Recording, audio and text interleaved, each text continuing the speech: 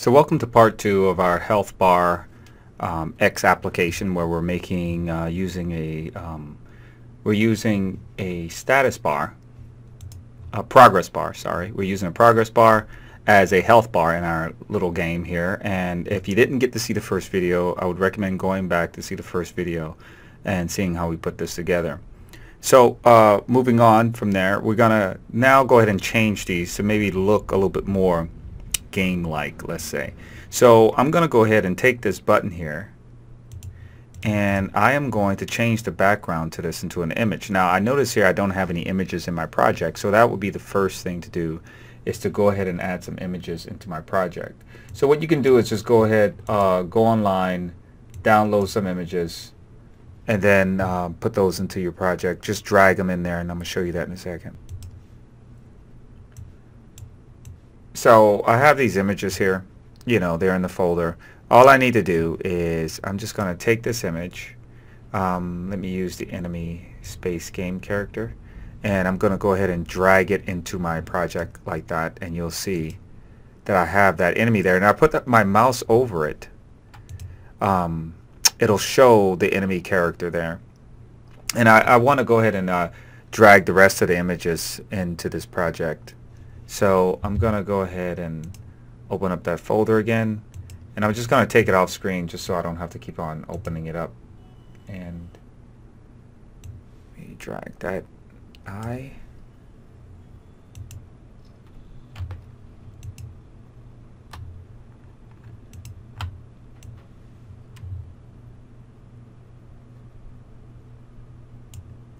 Okay, there we go. Now the next thing I want to do immediately after I drag all of these um, images in here is I need to make sure it's going to be part of my project every time it compiles. So I'm going to select the first, any of these images like the bottom one and I'm going to hold down shift and then select the very top one. And I'm going to go down here into the properties and I'm going to change do not copy to copy always. And I'm going to hit control S to save that. Now that I have these images here, I can then go into my button. Uh, what I want to be able to do is go into the uh, the foreground, the background. Let's we'll put it into the background where the red is, and I'm going to change that from a solid color to an image. When I do that, I can scroll down just a little bit, and I'll see my image source, and it'll give me a list of the image currently in the project once I click on this arrow over here. And you'll see I have these images here. So I'm just going to click on the ballistic raindrop. There it is. And I want to take those words out of there. So I didn't mean to double click that like that. I'm going to take the words out. So I'm going to do a slow double click. And then I'm just going to delete it that way and select on the outside. Now the next thing I need to do is get rid of this border here. So I'm going to select my button. I'm going to go up here to the brush and I'm going to get rid of this um, this border right here. I'm going to select the border and I'm going to select this first one which is no brush whatsoever. Uh, I don't really even need the background there and uh, I don't have to worry about that opacity mask. Now when I go, when I use this you see how because it's a PNG, all of these are PNGs except for this one. It's a PNG so that means I'll have the opacity mask and it, it already has an opacity filter or an alpha alpha channel associated with it so I don't have to worry about a white box behind it or anything like that. Okay, so I have this one settled. Now let me go ahead and add this one here. So I'm going to select that. And then go here to the background. I'm going to change that to an image. Go to the image source. And I'll change that to health, something like that. Now in this one it does make sense to keep the words there, but I'm going to just take them off anyway. And I'm going to get rid of that border. There, now we have two buttons that actually look like images that will achieve the same thing. So I'm going to go ahead and save that and I'm going to hit F5 to run it. And now I have a button that adds and subtracts from my health. Now I don't like the idea of, you, you notice how this button is um, flashing. This is a natural um, reaction of a button. Um, and so I would have to go in WPF, I would go create a style or create templates or something like that in order to prevent this from happening and that's beyond the scope of this so it's not just a setting that you have to change. That's beyond the scope of this. But what we can do is instead of using a button we'll just go ahead and use a regular um, image. So an image doesn't have this reaction it doesn't have these actions associated with it these behaviors. So I'm gonna go ahead and close this and I'm gonna change this from a button to an image. So I'm going to go here into the tools and I'm going to select image. And then I can drag it or I can double click it and I'm going to bring this image over here.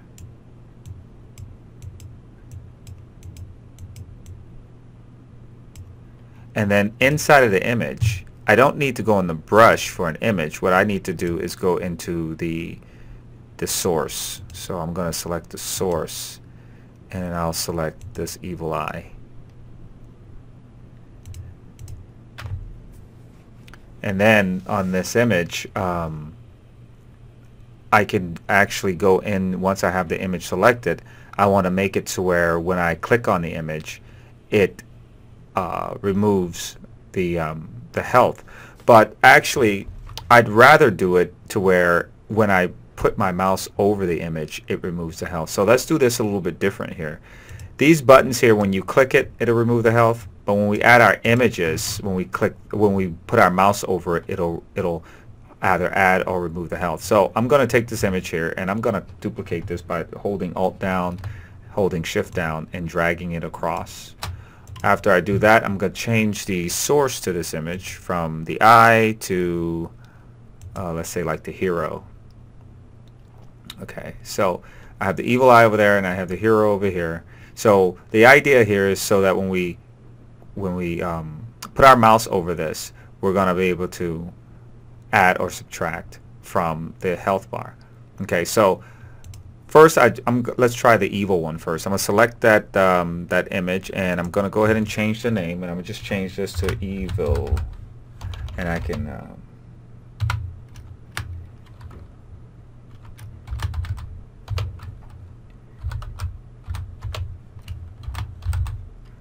I'm just making that uh, evil eye and then I'm going to go here and I'm going to call this hero.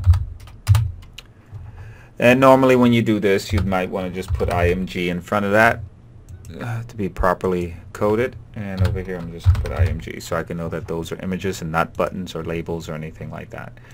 Now once I click on this image here I want to then go to the events so I'm going to select on the events here. Here's our mouse enter event. So in this mouse enter event, I'm going to click, uh, I'm going to type into this lose health, and then I'm going to hit enter. And it's going to write that procedure in, in the back, uh, in the code behind for me. And basically all I want to do is I want to take this right here, and that's exactly what's going to happen when I lose health. So before I move on to the next one, before I try to do that with the hero, I'm going to go ahead and test this out. As you can see now, when I put my mouse over it, I lose health. And then when I click this one, I lose health. And when I click this one, I gain health. Now all I got to do is do the same thing for the hero. So if I put my mouse over the hero, select the hero, I'm to go here. First I'm to select the hero. I'm to go here to the events and the mouse enter event right here.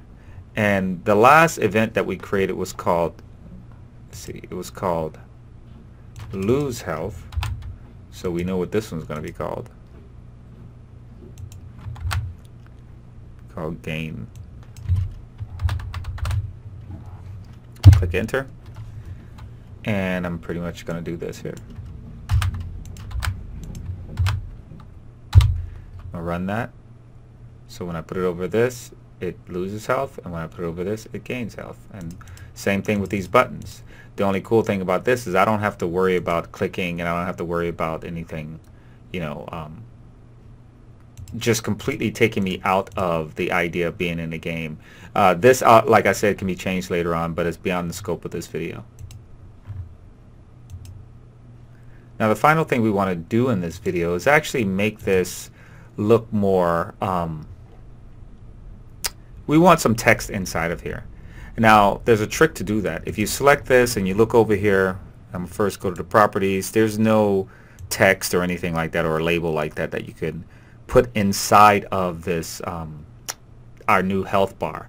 So in order to do that, we're going to select the progress bar and we're going to go down to the XAML and then we're going to surround it by a grid. So I'm going to open close brackets and then I'm going to put a grid. Hit enter. And I'm going to go ahead and close this grid. And what I'm going to now do is take this progress bar and I'm going to put it between the two grid markers. And then inside of that I can go ahead and add myself a text box. TXT box block, sorry, and I'm going to name that. It's going to be um, I'm going to call that TXT health bar.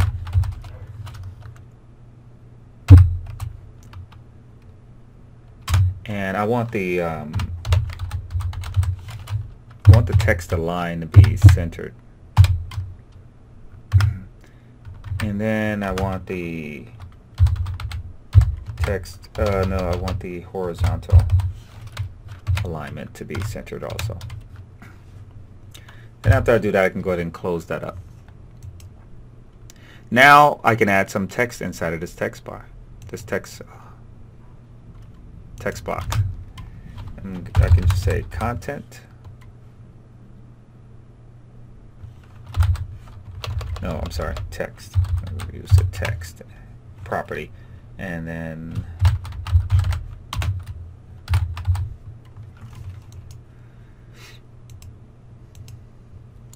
So there we have our text we have our text box inside of our progress bar or our health bar.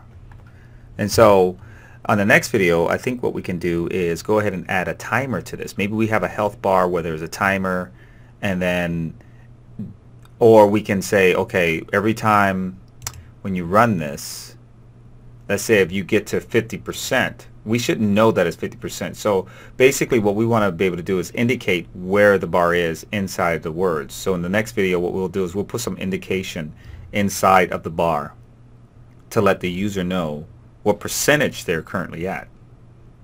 So I'll see you guys in the next video. If you have any comments, go ahead and put them in the comment section below.